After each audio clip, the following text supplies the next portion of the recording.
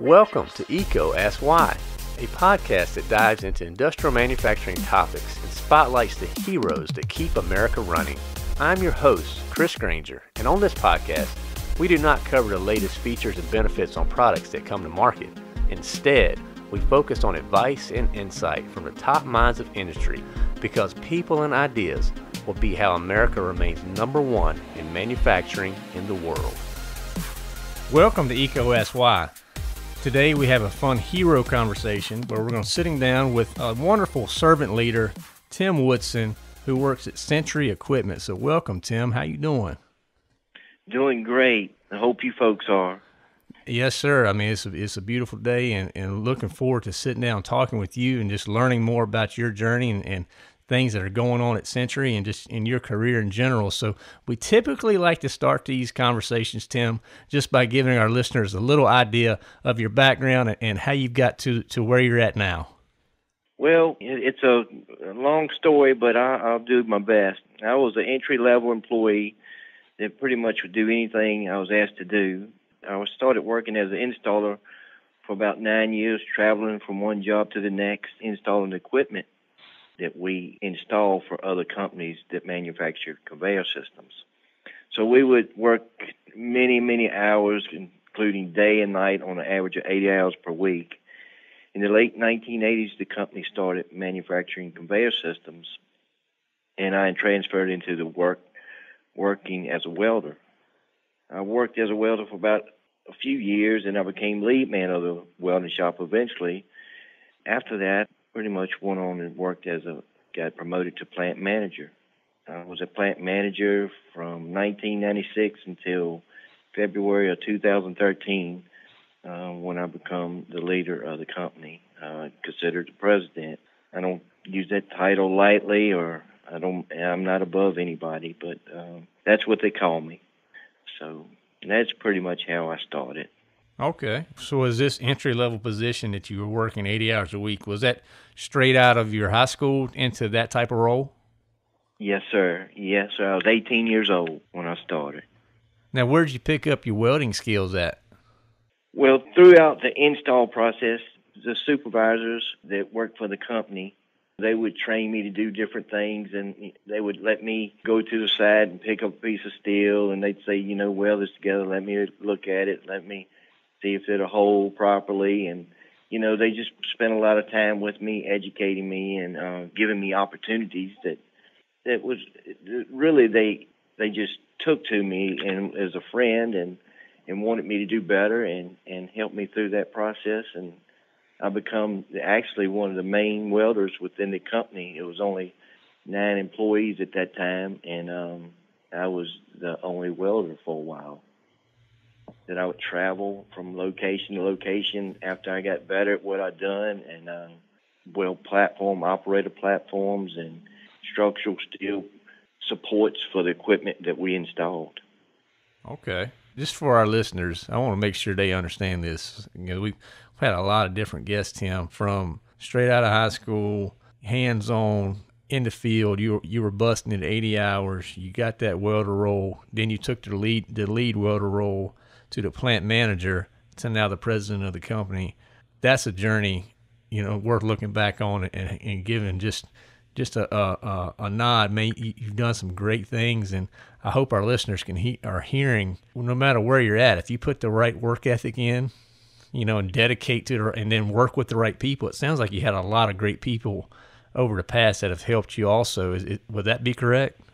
That is exactly correct. They were veterans in the industry. Um, they they worked at other locations within the area that that started actually manufacturing this kind of equipment and started their own business. So when they started, it was just a few key people that had had a lot of experience and um, they seen something me in me that I didn't know it was there, and and uh, educated me and gave me opportunity that just it's it's just a, a, a blessing. That's that's the only way I can identify the all the opportunities that they gave me that I actually worked for, but right. they trained me and educated me and supported me and it it wasn't easy as it sounds. Uh, it was a, many days of frustration and heartburn, but you know it's paid off.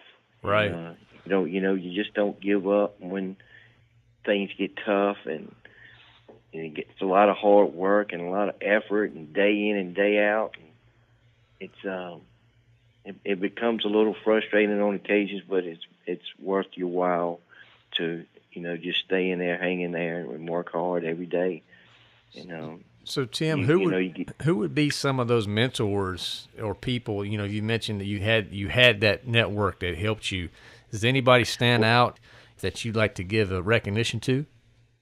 Yes, sir. It was actually the, uh, the we're an ESOP company now, but the owner, uh, Adam Vanosky, uh, you know, he was the owner, and you know, it was just a few of us, so we worked on project by project. So, you know, there there were many times that we uh, worked together all day. We roomed together at night, and week in and week out, you know, year in and year out. So we got to know each other pretty well. So, you know, he spent a lot of time with me. Uh, Wayne Wells, he's uh, passed on now, but he actually was the guy that approached me about welding and helped me through that process. And then there was another gentleman that's passed on. His name was Junior Lambert, and um, they just, you know, they were the three of the top key people within the corporation, and they helped me throughout my career, and they pushed me to do more, to be more, and everything was had to be precise.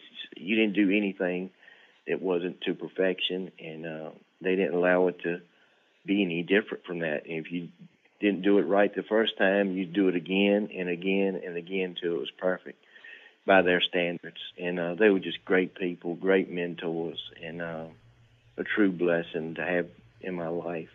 No doubt. I mean, it's so important that we have those mentors that help guide us in our career path, and, and that we can trust, right? And, and, we know that right. they actually care about us uh, as individuals, and so thank you for giving those uh, those shout outs to those three. You know, uh, it sounded like a couple had passed, but you, no doubt they had a wonderful impact on your life. And um, you know, Tim, we're we're in a tough time in manufacturing and industry right now. Things are changing a lot. There are a lot of challenges in front of us moving forward. What are you seeing at Sentry as some of the greatest challenges coming in the future? Well, I would say, you know, the employees finding people that are willing to work the hours and willing to put in their time to be good employees. Coming in here, you know, we have a lot of people that come in here for six months and you know they don't you know they don't like the amount of hours they work or they just they don't have any ambition or any drive to uh, prove something and uh it's a different than the way it was 20 years ago you know when when I started working you know, it, you fought for those positions, and you're not not actually physically or anything like that, but you know, you wanted to stand out. You had something to prove. You wanted to get as much work as you could get done in a day. And it was a sense of pride and you know something you've accomplished. You felt good at the end of the day, and I don't see that as much as I used to, and that, that scares me. That you know we need those kind of people to move the company forward when we re- decide to retire. You know, we got a core people here now that been here 25 to 35 years, and that group of people is is growing older, and some have passed on, some have left, and uh, I just want to replenish that group of people, and it's just hard to find anymore. So I think that's my biggest challenge at this point. Encourage folks to take on responsibility and lead, and yeah, I don't see that anymore. They rather be like workers and um, put in the time and go home. It's it's not like you know, not that everybody's built for that, but it's just motivation and and desire to do better. I just that's mm-hmm. what we need at this company.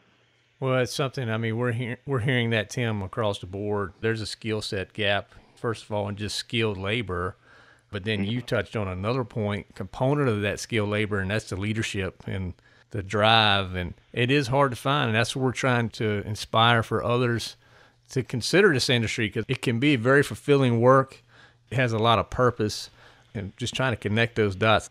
I'm feeling your, your struggle there, but you know, I don't have all the answers, but conversations like this at least bring awareness and can hopefully uh, maybe your your next top level uh, leader is listening to this right now wants to come talk to you, you know? Right. if if somebody was considering this the industry you're in right now, Tim, and you, you got a ton of experience in it, what advice would you give them? To treat people consistently, fairly, help people pursue their goals. Don't give up on employees. You know, we we have a lot of that that come through here. That we're different than most companies. Somebody comes in here and they have something going on personal in their life, and they're not acting the way they should, or their attendance is is falling, and um, they're not as productive as they should. I have a conversation with those people and ask them what's going on. How can I help them? How can I improve what they're going through? To me, that generates a relationship with those employees that you know that you do care for them. You want them to be successful, and at the end of the day, you know, regardless of whether they stay or they don't, they always tend to come back to Sentry because of that uh, relationship. You know, they go out somewhere else, they're a number. Managers and and people in a in higher positions doesn't give them credit. You know, they just they had to do a job, and I don't believe in that. It's not been my approach since I was a kid. I really didn't know what that approach was back then, but it's helped this company, I think, throughout the years here. It's just rewarding for those folks to stay. You keep them here, you work through their difficulties. At the end of the day, once they get through that difficulty, they know what you went through with them, and they're more willing to do their job and do a better job because of the way you treat them. Right. You know, Tim, to me, what you're speaking to right there is has a lot to do with just company culture, and you've you've built a wonderful culture there. I'm just curious, from a personal standpoint, has the culture always been that way at Sentry? I it sure has. The the owner, he was uh, a family type person that you know he treated us all. You know, he expected a lot out of us, but at the end of the day, you knew that he was a good man and he was going to do what he could for you. And so I've learned uh, most of my knowledge from Adam Vanosky, and uh, he's really, really been a mentor to me to help me. But it's got to be inside of you too to have that kindness and emotional attachment to these folks. And, yeah. Uh, you you can't fake that, can you, Tim? No, no, sir, you cannot. They see, they'll read right through it. You know, they. That's right.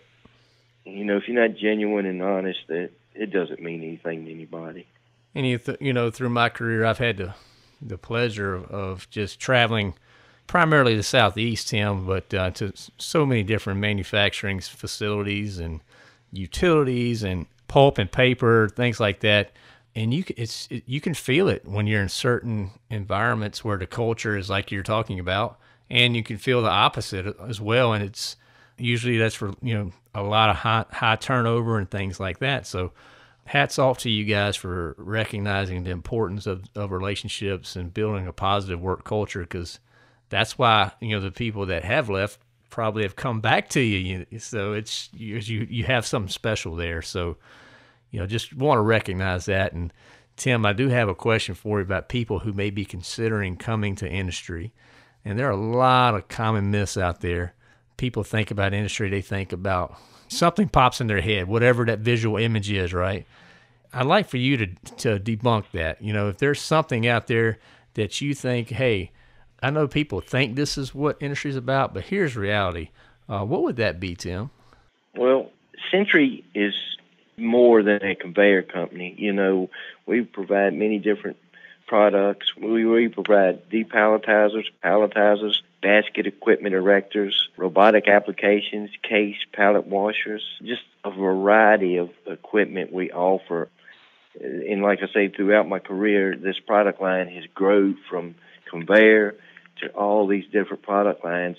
We've developed many different avenues to provide to our customers, and that's pretty much what I'd like to debunk. Is we're just not a conveyor company. To me, that says you're flexible you recognize changing market trends, and when you when you when you see those changes, you guys are developing solutions to address that need. So, and I think uh, so much of industry out there is that way. It's some people think, well, if I just go to this manufacturing facility, I'm gonna be doing the same thing for the next 20 years. Wrong. That's that's not the oh. case. You know, so much changes from you may not be doing the same thing you know, every three months. I mean, it could change that quickly. So I think it's yeah. While you may be in a same you know facility or building or area, what you're doing in that is going to change so much as the market changes. So thank you for sharing that information there, Tim. And when you think about the future and you think about projects, what gets you pumped up? What gets you excited? Robotics right now is what we really have uh, tried to achieve the last year and a half, gathering folks that are have been in the business a while and attracting those folks to Sentry and getting sales, creating sales in that area. We've managed to do so so far. It's it's something that we think that's necessary to, like you said, grow the company and keep up with technology. So it looks like we got a pretty good handle on things right now, and uh, it sure is promising to see the impact it's having on the company uh, and the employees here. You know, they they've gotten excited about it, and everybody's on board. And so, how are you guys going about learning with that? So, if, if robotics is a new space for your company, how are you learning and, and adapting this technology?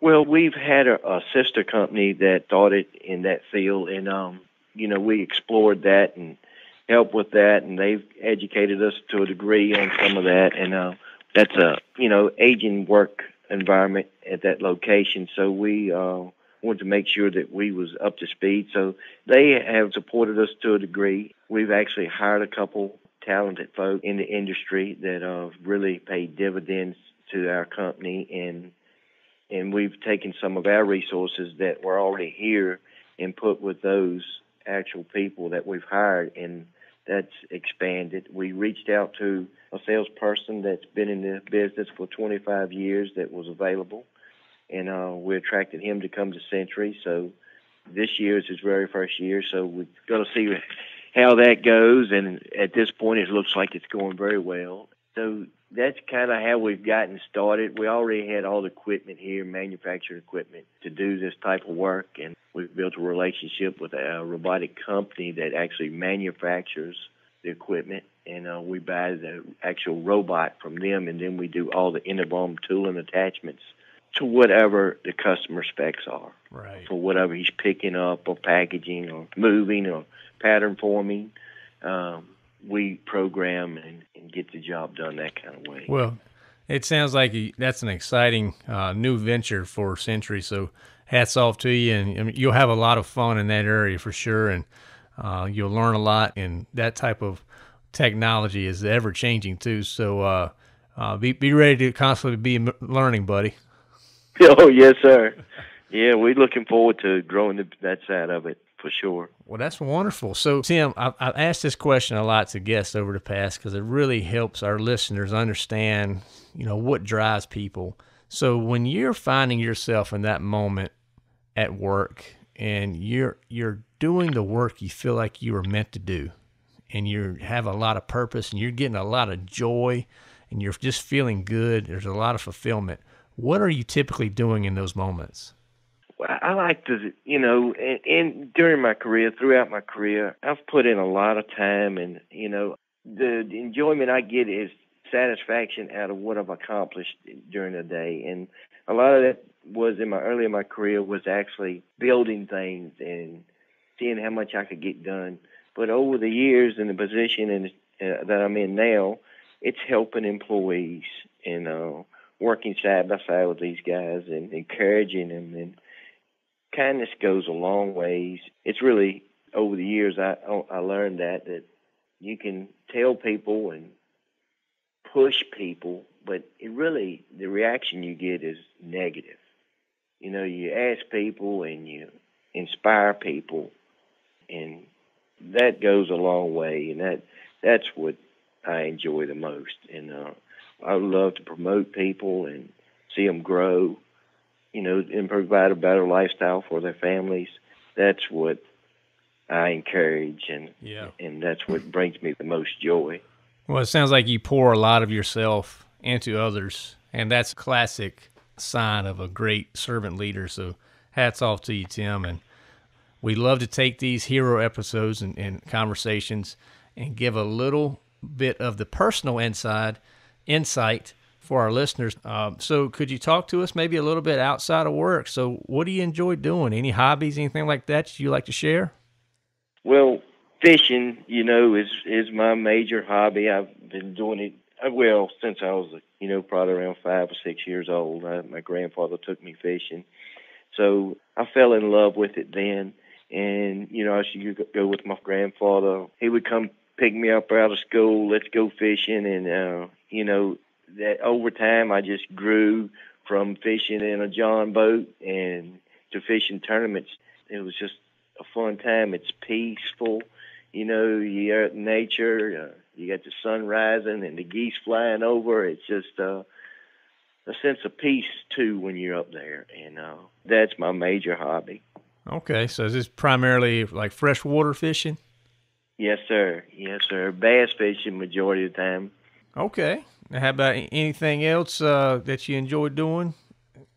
Well, I golf on occasions. I'm not very good at it, but uh, that's another way for me to get outside and I've never been bitten by the golf bug. I, I, don't understand chasing the little white ball around cow pastures, but hey, whatever you guys do, enjoy doing, do it, man. That's right. Yeah.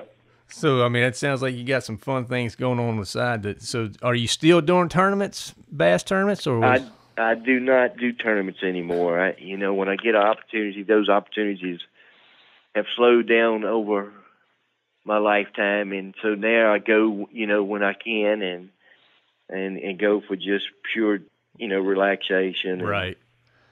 I remember I had a uh, I used to work on a race car, and uh, one of the guys that that was on the team and helped us. He was a he was a bass fisherman, and he would go to these tournaments. And he, I, I always thought this was funny, so I got to ask you this question. So, did you ever go practice fishing before tournaments? I, I know that sounds funny, but actually, uh, I did several several, several times. Uh, I guess you call it practice, but unless you're a serious fisherman, you don't you understand why they you have to do that. Well, it's, uh, you know, I grew up playing baseball, so I get going to the batting cage and you know catching grounders. When he told me practice, I'm like, bro, you're going fishing before you go fishing. So like he's like, no, but just practice. You, it's really you got to understand where to go when they drop it. And they said it's, it's, the tournament starts like you don't want to be figuring that stuff out. Then I'm like, you're still fishing. Yeah. But anyway, I I got off us on a side road. Sorry about that. I was just curious if that was something you did. I did. I still do. On it's it's more or less it's called eliminating water. you know, you eliminate right, right. You're eliminating areas where the fish are not. That's so. right. Just know where they're not. I got you. Yeah. So you know, we we also love on these episodes, Tim, to talk a little bit about family. Anything you like to share with our listeners there? Well, I got a great wife. Been a true blessing. Um, you know, she's a great person, and that's pretty much majority of my family. Early in my years, and when I was a teenager, I lost the majority of my family to different things, and uh, so really didn't have a family. But the family that I do have is the people within the Sentry organization, and and I have some friends, and I consider all those folks my family. And I and it's a pretty large family that uh, I'm very blessed and, and lucky to have. So that's pretty much all I have is family. Well, hey man, that that's that's a ton. I mean, you know, it, it's so important, and when you find that that right partner, it really makes such right. a difference in your life, doesn't it? Right. It sure did. Also, I, I love to just kind of understand are there any books or anything that you enjoy reading that you like to share with people that maybe they should uh, look at or consider? Well, I've never been a huge reader or anything like that, but um, I, the only book that I really read is the Bible. That has helped me more than anything throughout my life, and uh, you know it's true if you live your life by that, then you shouldn't have any problems. And um, that's pretty much the only book I've read. Well, hey man, that's uh, you could only kick, take one book on you know with you. I think you pick, you picked the right one. So hats off to you, and you know thank you for sharing that and your truth you know, and just the honesty that you're you're sharing with our listeners. And Tim, we love to kind of wrap the podcast up and the episodes up with the why because we call it EECO ask Why, and we get down to the purpose and what drives people and what you know what what is their motivation. So, if you had to summarize what your purpose is, what your what your personal why is for Tim Woodson, what would that be? My personal life is caring.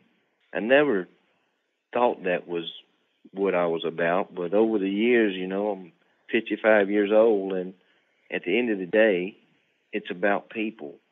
And, you know, it's about understanding, caring, and just being willing to help, support, and, and educate. You know, I've I've noticed the last few years I'm starting to do more of that than I ever have. And and when I mean educate, it's nothing from a book. It's it's nothing you can be taught. It's just life experiences and things you you know you've been through that you can help others go through those difficulties and with assurance that it's a, a brighter light at the end of the at the end of the road. And uh so that that's what I pushes me to come in here every day is to provide a great place to work, great benefits as much as the company can afford. You know, we're privately owned ESOP company, and um, we all own it, and we we provide a good benefit package that they can go home and their kids and wife can count on it. You know, they know that every day they come in here, they have somewhere to go. They got people to talk to, and people people that want them to be here and want them to be successful. And uh, at the end of the day, that's what I would like to be remembered for is is how I treated them, and when and I could and that I could lay down at night and sleep well, and know that I've done everything I could possibly do as a leader of this company, and um, that that God would bless us and um, Tim, keep us I- healthy. I'm I'm with you. I, I completely. I love your answer. I, I know our listeners will heal your passion, and and this that was from the heart. That was probably one of the more from the heart answers that we've heard through the podcast. And I mean, you, you have that that caring heart. It's it's part of who you are. You're always trying to pour into others to make others better. Uh, and, and that's why you've had the success you've had over your life, and you, you've been blessed. Uh, but you've also turned that blessing into a blessing for others, and uh, that that that means so much. So I I've thoroughly enjoyed this conversation. You've inspired me, and I, I know you've inspired our listeners as well uh, to always keep moving forward, care for others, uh, be that servant leader. And when when you do those things and you truly think about other people, doors have a way of opening, don't they, my friend? Yes, sir. Yeah, I never dreamed I would have this position. It's it's a lot of probably more people out there more qualified than myself for sure. Well, Tim, this is this has been a, an absolute pleasure on for for EECO, and, and we thank you for taking the time on EECO Ask Why and this conversation. So uh, I hope you have a blessed day. You too, brother. Thank you for listening to EECO Ask Why. This show is supported ad-free by Electrical Equipment Company.